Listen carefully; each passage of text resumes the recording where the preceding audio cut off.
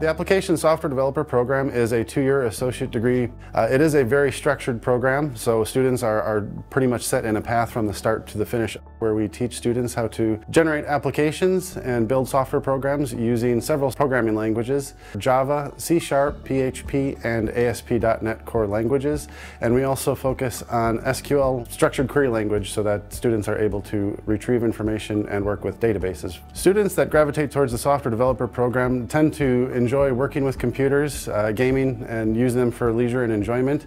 And they generally are also uh, enjoy problem solving, so we focus on building a strong foundation so that students are able to progress into several languages using that foundation as, as the starting point.